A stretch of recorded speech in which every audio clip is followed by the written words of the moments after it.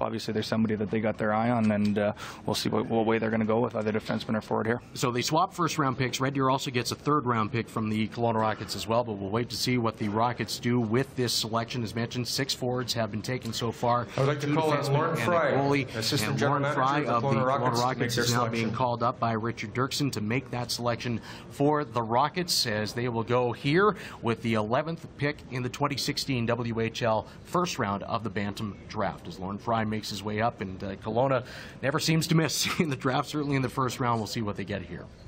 Uh, Kelowna Rockets will like the select number 10 in the first round from the Yorkton Midget Triple Maulers, Kaeden Korczak. So.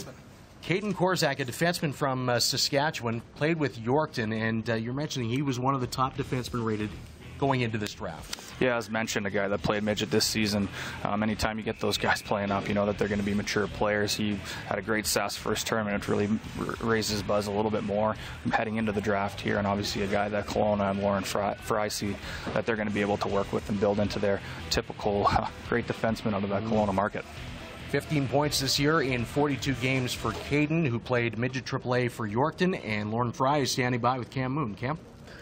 Lorne, uh, you move up here in the draft. Tell me about the player you just got. Well, he's uh, played midget AAA hockey last year in Saskatchewan with a very good hockey team. Uh, big six foot uh, one defenseman, very mobile, very intelligent, very good offensively, big, strong, good defensively. He's just a good all around two way player.